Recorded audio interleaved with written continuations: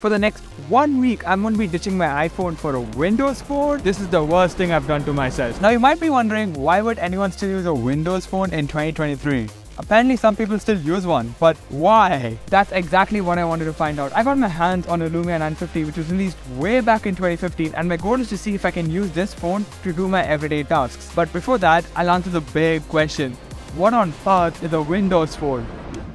This was Microsoft's answer to iOS and Android. Windows Phone looked radically different compared to anything out there at that time. It was faster, it was way more fluid compared to Android. It had these dynamic icons called as live tiles which showed you important info at a glance. Plus, it gave the home screen a much more personalized feel as compared to a stack of icons. The entire design language of Windows Phone was truly ahead of its time and it shaped up to being the next big thing in the smartphone space. But Microsoft was pretty late to the party. At the time Windows Phone was announced, Apple was already on their fourth iPhone. Android was flourishing with phones from Samsung, LG, HTC, and BlackBerry was still dominating the market for business customers. However, Microsoft partnered up with Nokia to build phones running Windows Phone, and that worked out really well for them. They made a lot of head-turner phones like the Lumia 1020, a phone with a 41 megapixel camera, which at that time was unheard of. But by 2014, Microsoft ended up buying the smartphone division division of Nokia to build Microsoft branded phones so that they could have the same level of control Apple had. Despite all this,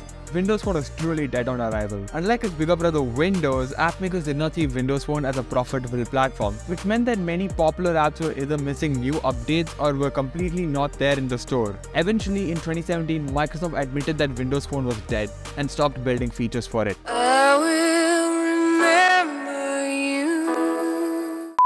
Which brings me to the Lumia 950, the last flagship from Microsoft. This phone was the prime example of what Microsoft wanted a phone to be. Windows Phone was not that bad as you think, and that's why I'm going to be using this for a week to show you how the experience is compared to Android and iOS. Why am I doing this to myself? Day 1. I started the challenge with setting the phone up, which took about 15 minutes. It let me log into my Microsoft account and it installed the apps and updates. After all that was done, I was at the home screen. I needed my contacts over, so I tried logging into my Google account, but it oh. threw an error right away, so I guess I have to figure out another way. The rules for this challenge are simple. I should not use my iPhone, but I can still use my MacBook since it's the only computer I have. So I got over to my Mac, went to Google Contacts, exported my contacts, transferred them over to the phone, and I finally got my contacts. It's 10 am and I have to get going to my university, so I'll finish setting up the rest of the phone during my classes because quite honestly, I won't be listening to them either ways. I checked out the Microsoft Store to find and install a few apps that I could use this week. The store literally had about 200 apps. Most of them were knockoff apps and games, so I didn't even bother with it. Forget any of the social or productivity apps that I use on a daily basis. So I started customizing the phone instead because that seems interesting. Yeah, I think this is gonna be my new setup for the week. Now I thought I could use Instagram and Twitter through Microsoft Edge. Yes, Microsoft Edge. But it turns out both of them do not support this version of it anymore. YouTube still works, it's slow and very hard to use for some reason, but I can watch Rick Astley vibe. Since Instagram doesn't work, my only way of texting people is going to be through SMS. Who still uses SMS? Anyways, the walk back from uni was quite boring because I don't have any music stored locally and I doubt if I can get any music service working on this. Day 1 was pretty rocky. I'm missing some of the apps I would use on a daily basis but we'll see how it goes. I want to touch a bit on this design.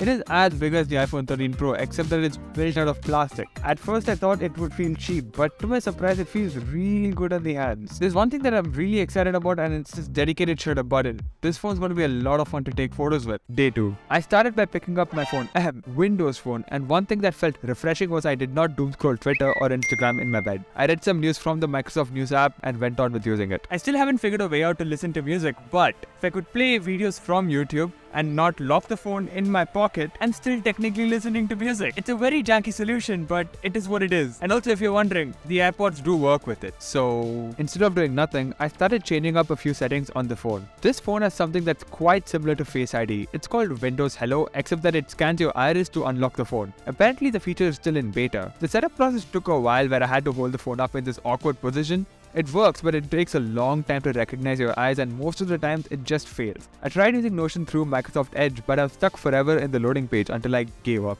So for this week, I switched to Microsoft Word as my note-taking app because it natively runs on the phone and I still can sync my documents to my Mac.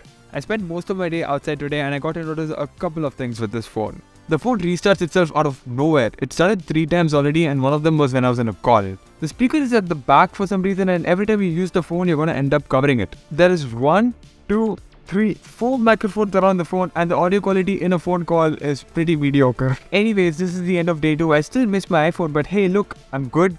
I can do this. This is better than I expected it to be. Day 3. I asked a few of my friends what they think about Windows phones and this is what they said. What do you think about this phone? What do you think about this phone? Audio movies. Really nice. It has a pretty good UI. I mean, it's different from the conventionally used ones like Android and so yeah. It's a very good phone.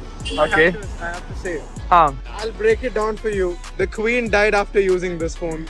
it, it actually has no apps. Has no app.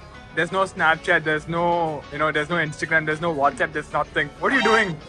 Um, you're reviewing the phone.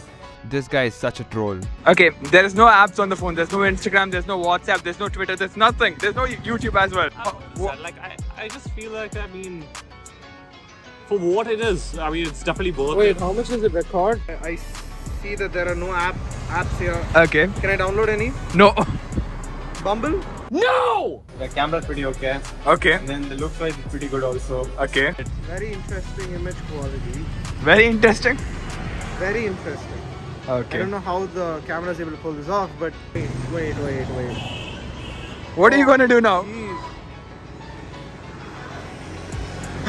Oh no. Yeah, that's the best way to test the optical stabilization. What do you think about the home screen? This is the home screen. Yeah. Wait, wait. Oh, Not really, come on. It's amazing. I mean, It's amazing. Why do you think it's there's no amazing? exact wallpaper. Oh, there is a wallpaper. But it's actually a really good phone. It's really light. So you have an iPhone 13. Yeah, Would you leave this phone for that? Definitely. Yeah, that's quite obvious from his impressions. So you use an iPhone 14 Pro Max. Would you switch from this phone to that? Dude, I paid like a lakh for that. I don't think I'm gonna switch like ever. So you have the OnePlus 11R. Would you throw this phone away for a Lumia? Um, Keep you it. know what? I just might in case I get some. Wink, wink. You know what? It becomes an actual OnePlus. That's what it means. The weather. The forecast. Okay, man, enough. Good stuff. Good stuff. Yeah, I should not give this guy the phone. Day 4. So far, I've only talked about how I've tried making Windows Phone useful, but I haven't really talked about what made it special, so I'm going to be walking you through 5 features that made Windows Phone unique. It's worth knowing many of these features have been copied by Android and iOS in some form or the other. For example, Tiles is very similar in concept to widgets, but over here, these were your app icons. Every app icon was a tile. You could make it as big or as small as you wanted to be. You were not limited to a set of widgets. Any app could behave like a widget and provide important info. This really made the notification panel on Windows Phone irrelevant. Windows Phone also did customization well. You could customize the accent color, theme, and this extends towards all the apps on the phone so that every app felt consistent. This is very similar in concept to what Google has been doing with Material You on Android, and it seems to be working well for them. The next feature is the People Hub. It was your all-in-one contact app that put all your social app updates and posts into this one app. All you really had to do was look up that person's name and you would see their latest Instagram post, recent tweets, and even their Facebook updates. I can't really show you how it works because there are no social apps that support it anymore. Windows Phone is dead. The keyboard on Windows Phone is just amazing. There's proper spacing between each key. I felt I typed faster with it, even one-handed, and if I did make a mistake, there was this handy dandy nib which let me move around quickly. And there's this weird feature which let you lift the keyboard from the bottom so you could move it around. Why would you do that? Lastly, Windows phones were the first ones to implement an always-on display, and only very recently a company that goes by the name of a fruit implemented it. This phone is really fluid and smooth. The animations and transitions are really well done and the overall performance is excellent. The battery life has been pretty amazing for the last 3 days. I charged it at the beginning of the day to 100 and I end up with about 35 or 40. Anyways, I still have another 3 days to go. Windows Phone is not bad. It's just a different experience and I kind of like it. Day 5. Ever since the start of this challenge, I've been really interested and excited to test this camera system out because Windows phones are known for their amazing cameras. The Lumia 950 has a 20 megapixel f1.9 optically stabilized camera and it's called by Carl Zeiss lens to prevent chromatic aberrations. The camera interface is actually amazing. It looks pretty bare bones, right? You have your few controls and the shutter button. But with the swipe, you get pro controls like shutter speed, ISO, and white balance. Remember the shutter button I talked about earlier? It quickly launches the camera and snaps a photo. I gotta say that I enjoyed taking these photos. The quality of them is nothing to brag about. It does a decent job and doesn't do any sort of post processing. Everything looks real and washed out. especially at low light. But comparing this to something like the iPhone 6s, yeah, this is miles better.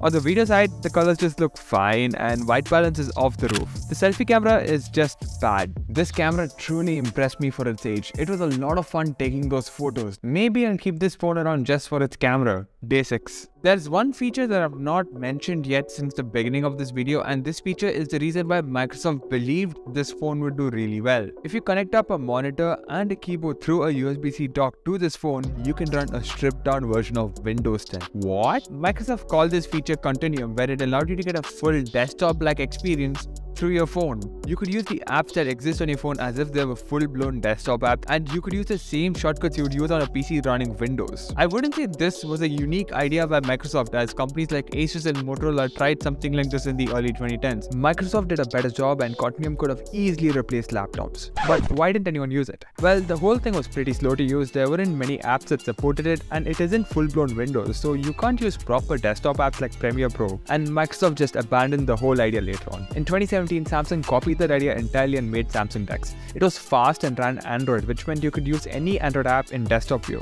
And some people do use it as a laptop replacement, but it's still not going to kill laptops any day. This feature was truly way ahead of its time, and if it did pan out, would have changed phones forever. This is the end of day 6, and I think I've made up my mind about Windows phones the final day. You know, the more I think about it, the more I put the pieces together, I really do feel that Microsoft missed their mark with Windows phones. Instead of pushing Windows Phone as an option for everyone, Microsoft could have targeted just the business market. The Office suite works very well on this phone and it could become a computer on the go with Continuum. Microsoft could have easily built an ecosystem around it. Windows is the most used operating system and if it played well with Windows phones, these would have sold like hotcakes. While obviously the lack of third-party apps defeats the purpose of it even being a phone, it didn't really stop me from working. I could still read emails, I made Word documents on the go, I could almost do everything I do on my iPhone, except for using apps. Sure, the way I did things were rather very unconventional for me, but it got the job done. As a casual user, I did find Windows Phone easy to use and for its time, it's way better than Android and iOS in terms of functionality. Personally,